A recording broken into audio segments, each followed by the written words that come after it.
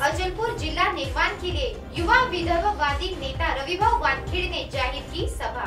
अचलपुर शहर के सर्वांगीण विकास के लिए माननीय वठेभाव केजरीवाल तथा रविभाव वानखेड़े इनके नेतृत्व में अचलपुर जय स्तंभ चौक पर यहाँ पर ज़ाहिर सभा का आयोजन किया गया था। सभा के मंच पर एडवोकेट वामनराव चटव, घनश्याम दास पुरोहित, रंजना मामड़े, मनीषा इंगड़े नंदू खेरडे, राजेंद्र आगरकर, यह सभी कार्यक्रम में अपना मत रखकर भाषण दिए और सभी ही कार्यक्रम में पूजा गुर्डे ने इस कार्यक्रम का आभार प्रदर्शन एवं बबलू वानखेड़े, सोनाली वानखेड़े, रोहिणी गौर, गणेश टाकरे राजीव भाई, विजय गवई आशिक तिड़के ने शेतकरी वर्ग के लिए विदर्भ अलग होना चाहिए। इस मुद्दे को युवा वर्ग के लिए रोज़गार संबंधी योजना होना चाहिए। सरकार को जल्द ही कुछ इस मुद्दे पर फैसला लेना चाहिए।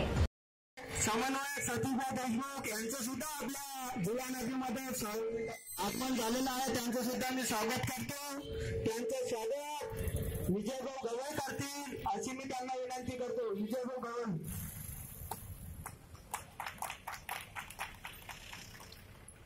त्याचबरोबर ज्यांच्या मुलं आज तो